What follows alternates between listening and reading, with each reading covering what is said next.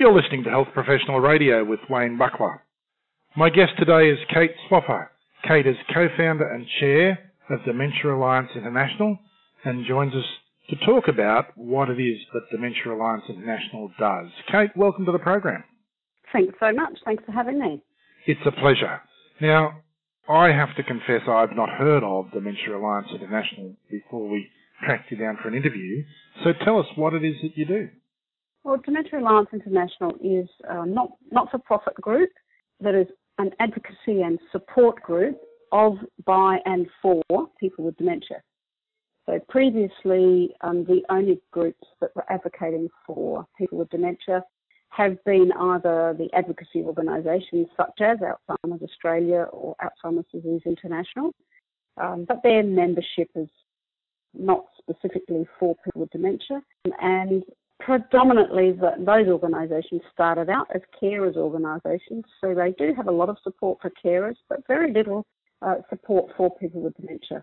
There was a group in about 2000 that set up that was meant to be originally a, a group exclusive to people with dementia, but they allowed membership in of other people, including family carers. So there's only about one third membership of that group um, is actual people with dementia. So a group of us from around the world decided to set up this group, this advocacy and support group exclusive to people with dementia. So we've been in existence since the 1st of January last year.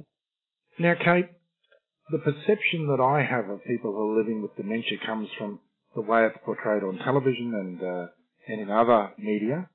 What is it like in reality? Well, in reality, many of us live around the world living with dementia are living good, productive lives. We're living with increasing disabilities caused by the symptoms of dementia. We're also being diagnosed with what is a terminal illness, and there are about 130 different types or causes of dementia, dementia simply being an umbrella term. But just like with any other disease, Rarely are we diagnosed at end stage or close to death. Uh, most people are diagnosed in the early to middle stages of the disease, where actually many of the symptoms, if we support them like disabilities, which is what they are, um, have learnt to function in different ways and still contribute really well to society.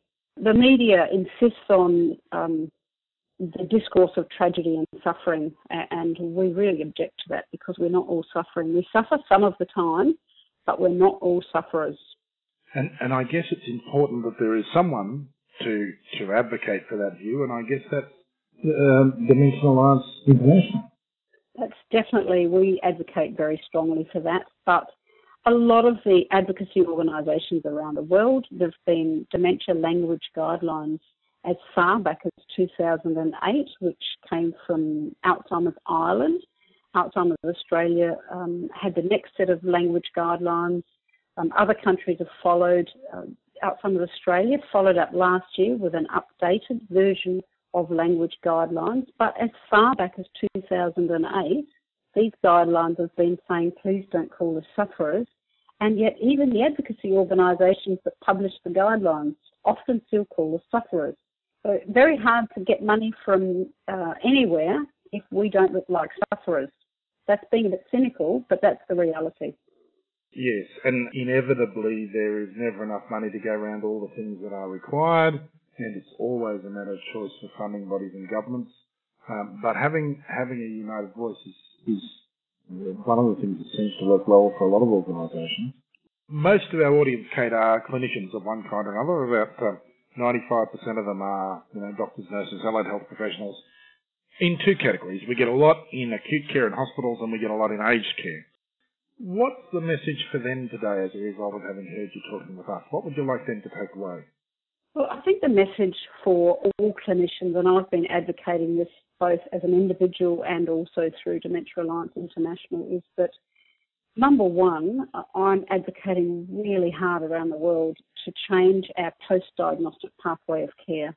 For example, when I was 49, diagnosed with dementia, mother of two, student at university, working full time, I was told that the next day I should give up work, give up study, get my end of life affairs in order, get acquainted with aged care, and go home and live for the time I had left. Now, if I'd had a stroke age 49, a recoverable stroke, I would have been rehabilitated back to work, if possible. So there was no rehab for me, and there is no rehab being offered to people with dementia, which when I put my old nurse's clinician's hat on, that's actually unethical to tell us to go home and die.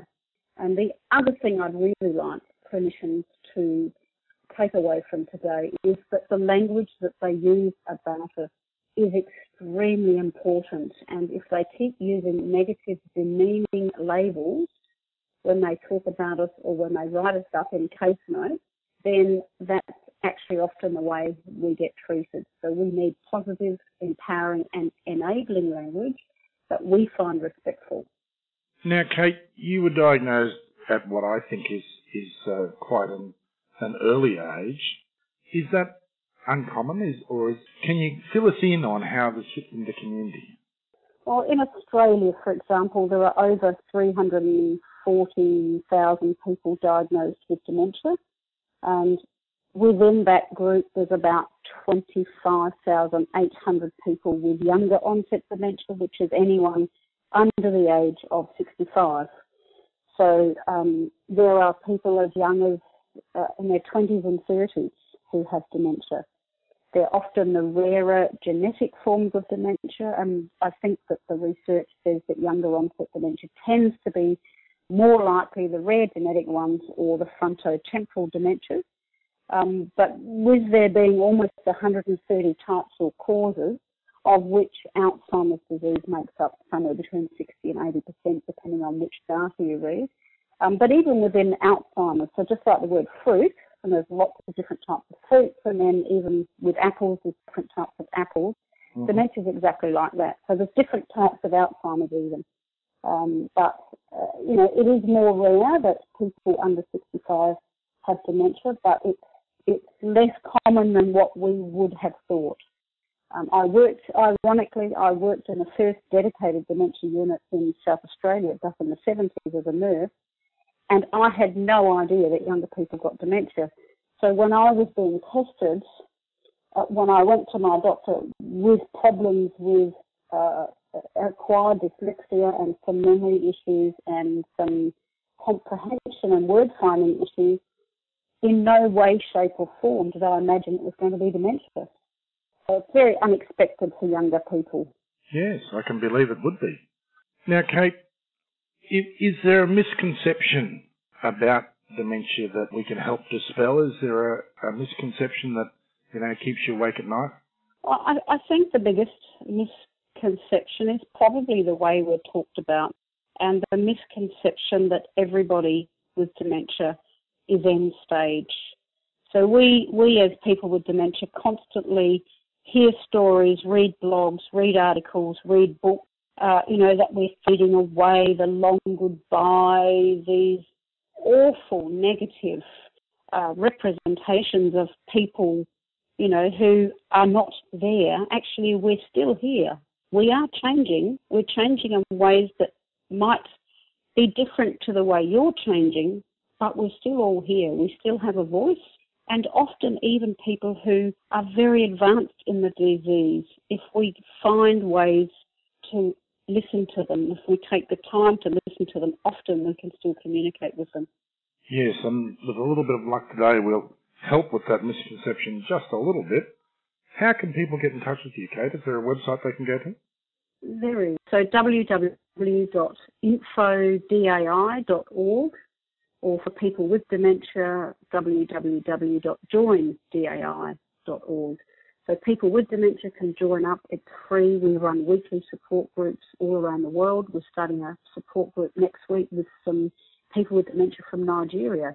Um, so we're in a lot of countries in the world now. Um, and people without dementia who work in the field or who are interested or who have family members can sign up to our weekly blogs and our newsletter. And we run um, monthly online webinars so this month we've got Professor Stephen Sabat presenting on the selfhood and dementia. He's an, an eminent professor of psychology from um, America.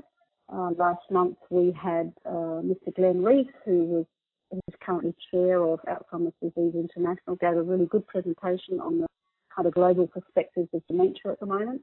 So each month we have presentations that are open to anyone to come and um, to watch, just like attending a seminar, except that it's just through your computer online.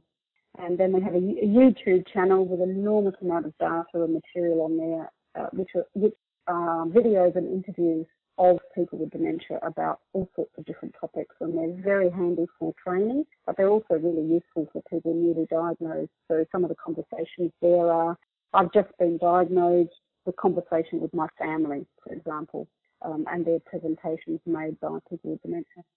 You're listening to Health Professional Radio with Wayne Bucklar and I've just been in conversation with Kate Swaffer, the co-founder and chair of Dementia Alliance International, and we've just been talking about some of the work that Dementia Alliance International does around the world. And of course, you can listen to HPR on any one of our 30 stations around the world, and you'll be able to hear Kate on there in our archives. So if you just missed our conversation, we have a transcript on our website, and we have an audio archive on YouTube and on SoundCloud, and you can also find us on the social media channels. Our website's www.hpr.fm, Kate, thank you for sharing your time with me today. I do appreciate it. Thank you so much. And uh, and good luck with Dementia Alliance International. I think it's a splendid initiative, and I hope it does grows and flourishes for you. I think maybe the final statistic might be worth just adding in here. There are currently almost 47 million people with dementia around the world, and the current new global rate is a new person diagnosed with dementia somewhere in the world every 3.2 seconds. This is a problem that we need to pay more attention to, I think. Absolutely. And uh, as we talked about during our interview, um, some better processes post-diagnosis. This is Health Professional Radio. My name is Wayne Bucklar. Thank you for being with us today. Do head off to our archive where you can hear the interview with Kate Swaffer.